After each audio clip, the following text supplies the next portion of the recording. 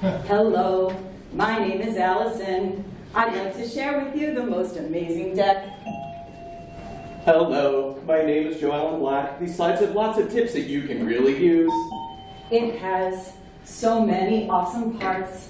You simply won't believe how much these slides will help your work. You can put down your coffee now and listen as we give you ways to make your project sing A helpful guide. with lots of slides. It's slides. super fun. You in?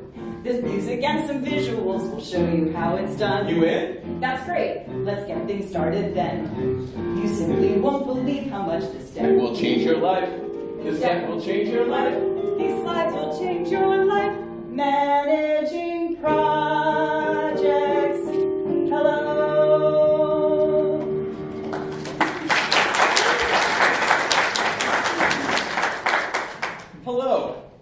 Project Management the Musical. I'm Joe, and we're here to talk about how we at Palantir run a project from start to finish. Now, all great musicals tell a story, uh, some sort of journey. Sometimes it's a love story, but almost always there's a little part of an adversity or some kind of trial or tribulation to get through. Musicals just simply include songs to help move the plot along and help keep it interesting. So we're going to give that overview of how we like to run a project um, the steps we take, how we work with clients, and how we overcome the odds to make fantastic websites that our clients love. It's going to be informative and at times very musical. In your playbills, you're going to find uh, a couple of sheets to fill out, or excuse me, a sheet to fill out uh, with the names of the musicals that you hear. If you're able to name all of them, we'll put you into a raffle for a chance to win a $25 gift card. Having a slight knowledge of Broadway musicals is helpful, though not required for the show. We'll give you enough prompts that you know at least to know when to laugh. Sometimes you're going to ask me sing, and we have our Twitter handles and the hashtag PMMusical at the bottom of all of our slides, so that way you can help us tell the critics what you think of the show. And with that, let's begin. Let's start at the very beginning. What else did you think we'd start with? I mean, come on. A very good place to start.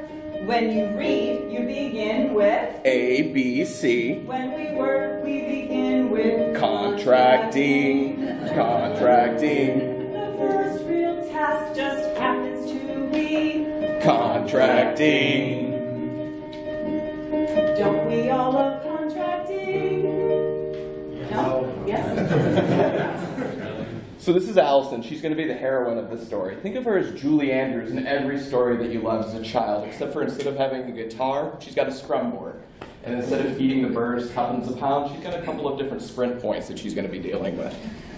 Now, as we talked about, the first phase that we talk about in this project is um, talking through contracting. Um, so, uh, excuse me. In this story, our, our heroine has just been assigned a new, a new uh, project. So, what is the first phase that we're going to be talking about? I just totally flubbed it. Contracting. There you go. so that's right, contracting. Before she does anything else, Allison needs to really understand the contract for this project. If she misses something here, she's either going to have a costly problem or she's going to look like a fool for months in front of her client. So she's got to be very explicit with the contract. So let's all get together and list out the needs that are in your statement of work. Scope, you must spell out the scope. Cost. define the payment terms. Dates.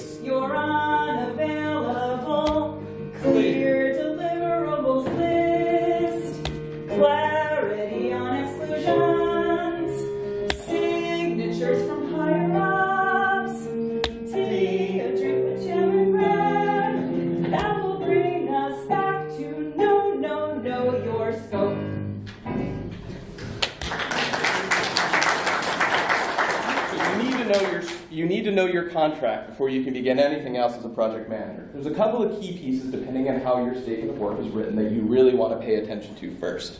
One of the key ones is your deliverables. What at the end of the day do you need to make sure that your project has, uh, and what are you expected to deliver? You want to know what is the overall scope, what is the totality that you're working in. Exclusions, as important as knowing what is in, you need to know what's out. What are the things that you don't have to deal with to make this a successful project? Assumptions are another very key part. As sales process happened, or as many different conversations have happened, there's been assumptions that have been built into your contract. You want to make sure you know what those are. If one of those happens to not be the case anymore, of course, you want to figure out what is the next step to fix that. Scheduling is also very important. Does your client have an expectation of when this is going to be done? Is there going to be any times that people have vacations or your company might have a retreat of some kind? And then, of course, we all like to eat dinner at the end of the day, so make sure you know what are the payment terms. Do you have any specific milestones that you hit? Is this a monthly project? Um, but as important as knowing everything else, you need to know what those payment terms are. So once Allison's had that opportunity to really understand the contract, she now needs to get organized. So the start of a project is where the PM is probably at her busiest. It's like starting a quest. Think of Lord of the Wings, Fellowship of the Drupal. I, I'm mixing way too many terrible metaphors at one time, right? Uh, she has to determine how to work with the client team, her internal team. And the goal is to create an atmosphere of transparency and collaboration throughout it all. For our toolkit that we use at Palantir, we use Jira. Previously, we had used Redmine. And our goal with that is to really see what are all the different pieces of the project and how they're come together. We also very early on established what we like to call a risk log, which is a detailed list of all the different things that might go wrong. And if they do go wrong, how severe is that problem? And then how do we mitigate that if it comes through? At the end, we'll have a link where you can download one of these as an example if you're interested. Along with this, you want to make sure you have proper time tracking tools in place so you can see how your team is working. Are they meeting your estimates? Are they having any problems? And then if there's any kind of contractual obligations on hours, of course, time tracking is very important.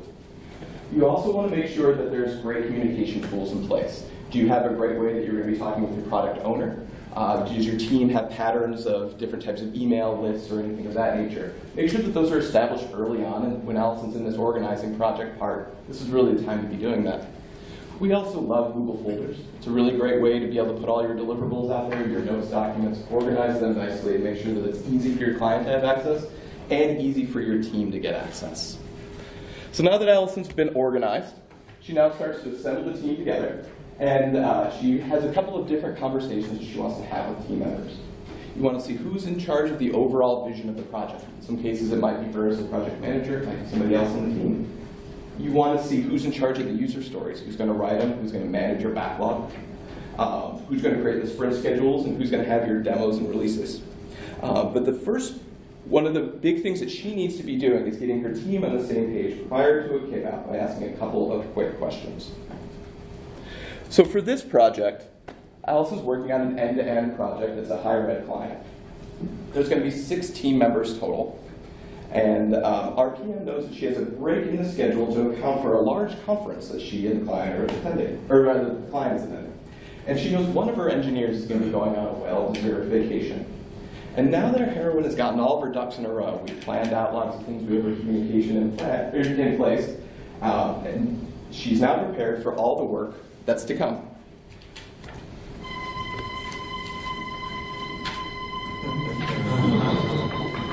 There's a schedule for feds and designers.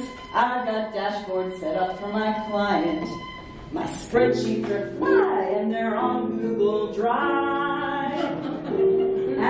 Told the deposit check finally arrived. Oh, what an organized project. Oh, what a beautiful day. I've got a wonderful feeling. This project will be okay.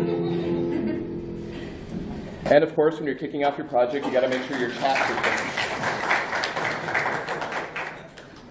So the contract's been signed, the team has been organized, and Allison's gotten everything organized to start. Now it's time to, for the client team and the internal project team to be meeting formally for a kickoff to the project.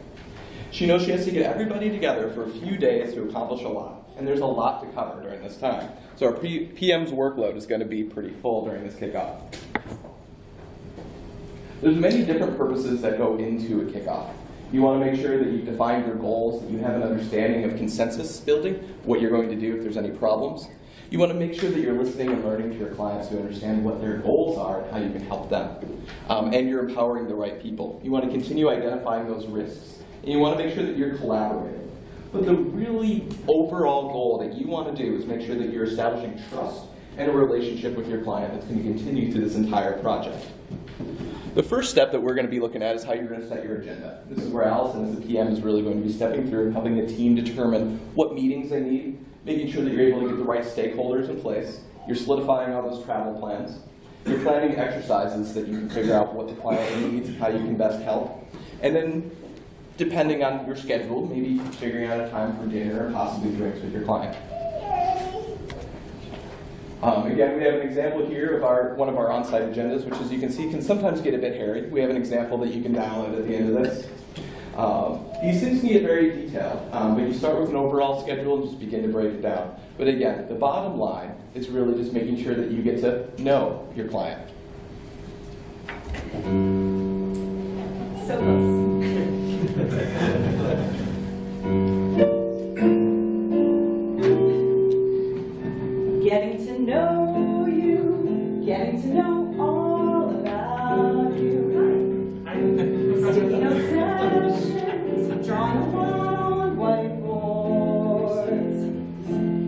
Empathy mapping, writing your thoughts down with markers. Learning partners, their users' needs.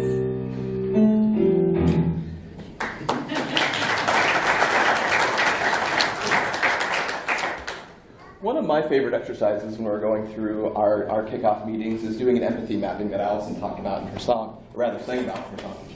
Uh, where you, as with your client team and with your internal project team, you try to put yourself in the place of your end users. What are they thinking? What are they feeling? What are they doing? Try to think of the different points of friction that they have in their process, uh, what they might be dealing with as they work with your site. The goal is really to make sure that you're getting in the heads of your users. And as a PM, Allison is going to be making sure that this process is able to be cataloged and understood across the board by everybody on the project team. She might also be leading an information architecture workshop. We're figuring out which words might make the best sense with your menus and labels, how you might set up your sitemap, that type of thing. But before it's all done, we need to make sure that we have a nice wrap-up session. Uh, figuring out what is the highest value pieces that we have in this project. Uh, we need to make sure that there's a clear understanding of what's in and what's out, or at least how we're going to determine that moving forward. And then one question that we really always like to ask is what's the number one thing that Palantir needs to get right? And if we have a good answer to that, we know that we can go forward and make sure the project's right. So once we've moved through this kickoff process, unfortunately, we run into a little bit of a problem. Everybody is, everything's running smoothly, and someone takes that aforementioned vacation. So all those carefully laid out plans now need to now need to accommodate a little bit of a change.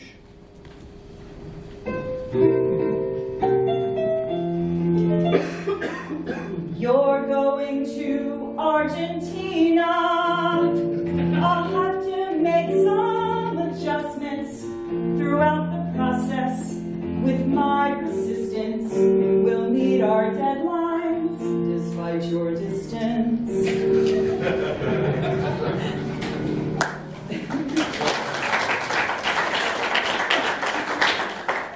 We then move into what we like to call our strategy and discovery phase, where the team is really starting to dig into the project more, understanding what this is ultimately going to be. And our PM's job at this stage is keeping everybody moving and removing any blockers that happen to come up.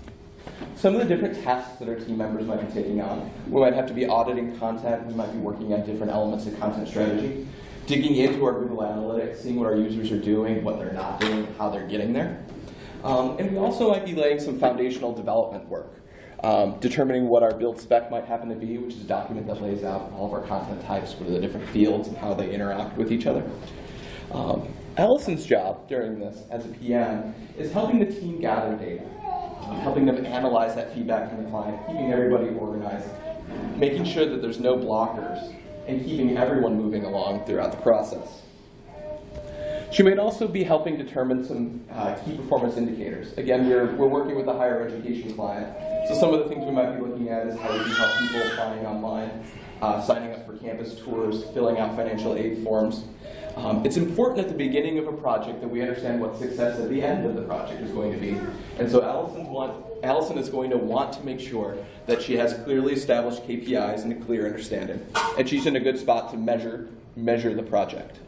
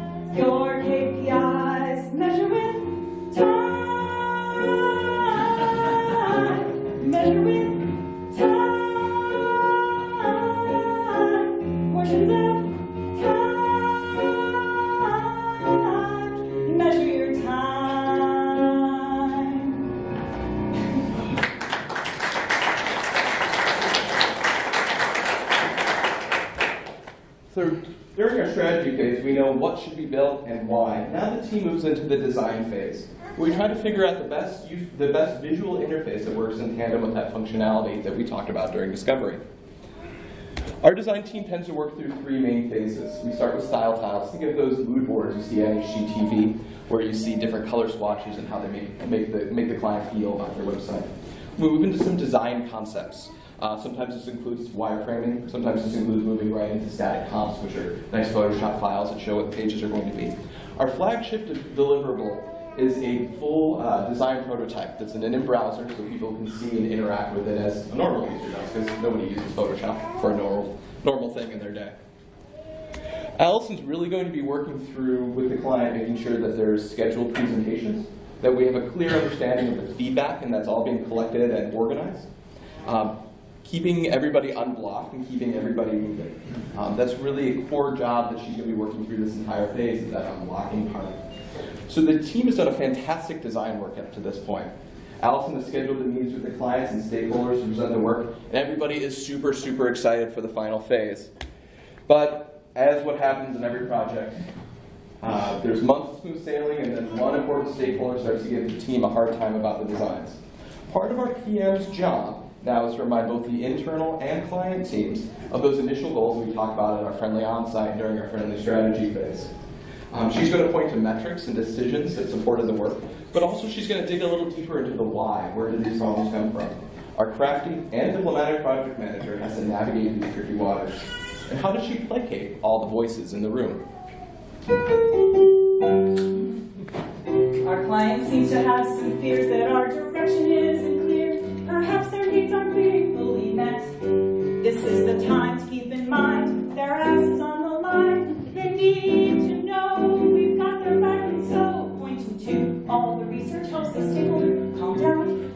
stakeholder calm down. The stakeholder calm down. Having open conversations helps the stakeholder calm down. It's the most efficient way.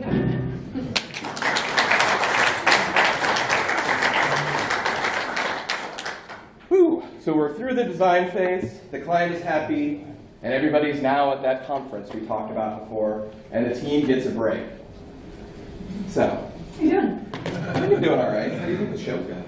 It's going all right. They're having fun. Did you sleep all right last night? I did. Although the fire alarm kept going off, but that's not as terrifying as this desk. I don't want to. They might not ask us year. That's, that's bad. So, um, they're back from the conference. They are. Yeah. We should, we should keep going. All right.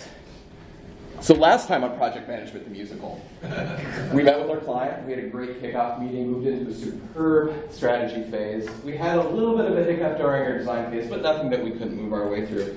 So now we get to move into the development phase. Our fearless heroine is making sure that um, everybody is continuing to move along, that we understand how this is going to get built and how, what it's going to be. And she might have to use a spoonful of sugar every now and again to have that more of an impact, but that's going to be okay.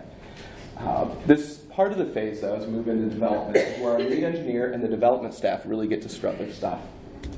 At Palantir, we like to work in an agile process for development. That means we set up two-week sprints. We determine the amount of work that can fit in that two-week bucket, and the team works to finish those with a demo at the end of that two-week period for our client. Um, we then start the process over um, and continue to groom that backlog, continue to build what kind of pieces we're going to have, um, and really making sure the client feels they're getting the highest value um, to be able to bring the project to an end. The team during this time, again, it's grown a little bit larger as start to move into development. They're going to be assigning points on project or on, on user stories, determining how much work is going to be involved in something. Can something be broken down? They're going to help the client prioritize things based on dependencies. But really, this is where they're going to start to build the dang thing. Uh, they're also going to be setting up testing and QA. They're going to start up, uh, start deploying. Our PM has a couple of different tasks that she's going to be doing. Um, she's going to be managing daily scrums, 15-minute uh, meetings where the team has a check-in. Those demos we talked about, she's going to be the one that's running point on those, making sure those are scheduled and set up. And then talking with the client throughout the entire process so that he or she understands what's happening and can really feel that he or she can have an impact. And have the support necessary to go, go, go forward. You know, Joe, this job could be systematic, automatic, rarely bureaucratic. Let's start sprinting. We're sprinting. Go, go, go, go, go, go, go, go, go, go, go. Their stories are being finished one by one. We're sprinting, yes, sprinting, yes, we're sprinting. Project team, Uh-huh. keeps going clean. Uh-huh. Because we're sprinting.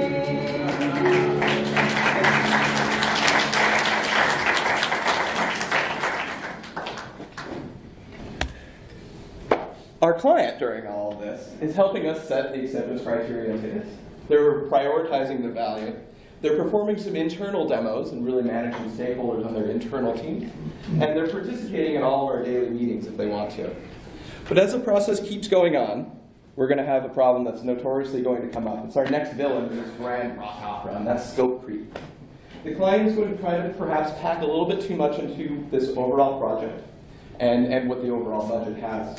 And this is where our PM and our technical lead need to be on their toes. Remember all that prep Allison did at the very beginning?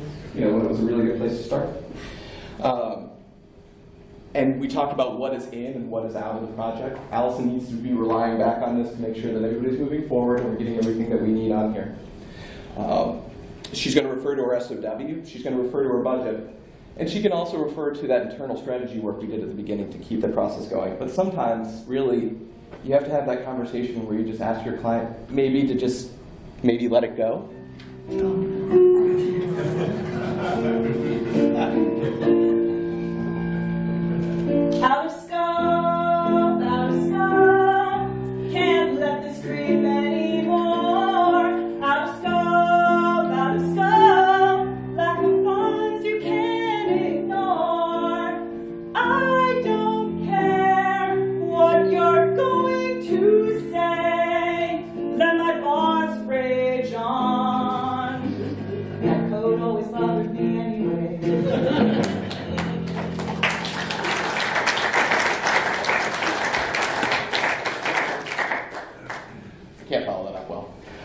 deadline is fast approaching now. Uh, we're helping the team manage toward the most valuable or the most valuable product. We're managing expectations across our stakeholders, internal and external. We're looking toward perhaps support or account management, how we continue this relationship on. Uh, but Allison's got to keep on top of these final sprints and manage the client's expectation and make sure that functionality does what it needs to be doing. But one of her key engineers has gotten ill, and it's dramatic heartbreak. Now our heroine has to manage to, how to have fewer points in the sprint and do some shuffling.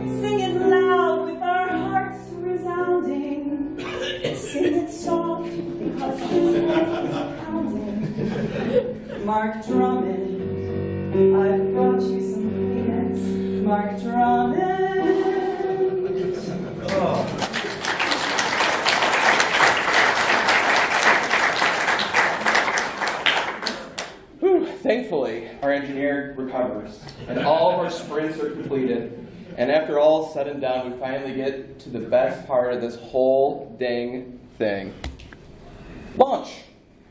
After all the hard work, all that scope creep is battled, we finally have something to show high and loud, high above the pride.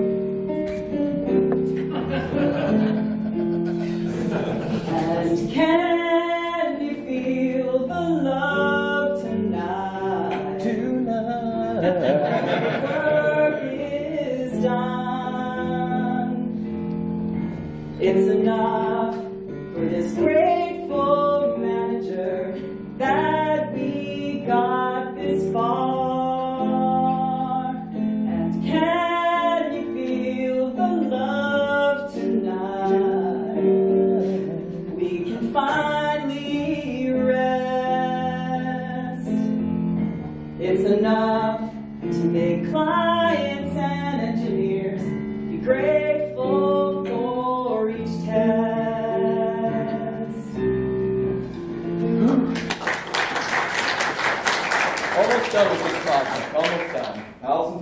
one more key piece as a project manager that she needs to be managing, and that's our retrospective. During this, she has three key questions that she needs to be asking of each of her team members. What went well? What could be improved? And how does this inform the next project? Really, the goal is making sure that as we move into our next project, we get some really great lessons learned. We can improve that for both our client teams and our internal teams. Really, as we go through these meetings, the, the whole goal is making sure that we jog everyone's memories.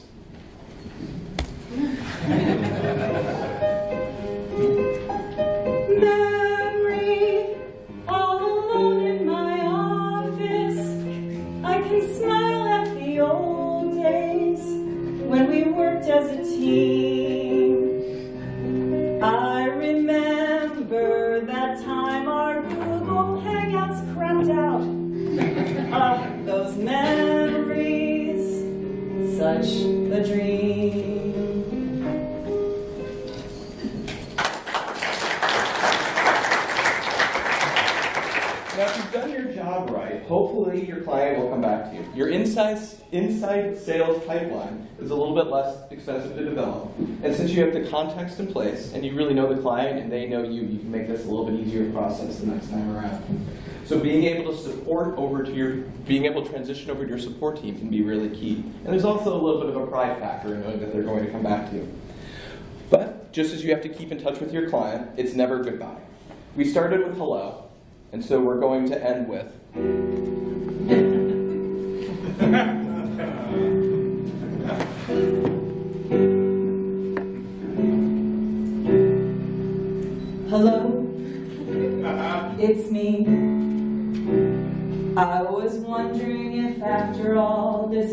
you'd like to meet to hire us again.